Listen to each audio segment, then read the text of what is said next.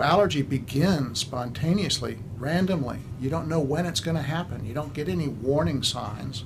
It just hits you. And I tell people it's kind of like walking down the street. You don't wonder if the truck hit you.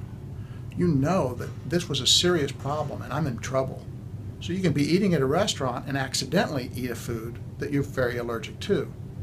You should always have epinephrine auto injectors to save your life. So they give you a two pack, and the two pack is clipped together so that you keep them together. It's got to be kept together because you can repeat the dose in 10 minutes in a life threatening scenario, waiting for the ambulance to arrive.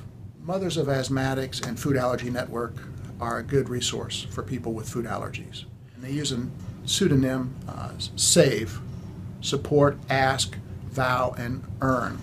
So they're saying support other kids, believe their story, and don't make them eat something that they are telling you they're not supposed to eat.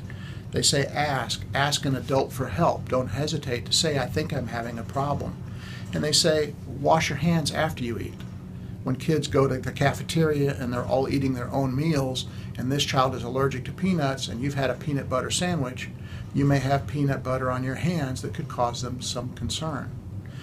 And then earn is to receive the title of being a superhero for children so that they can feel like they're helping their friend through their problem.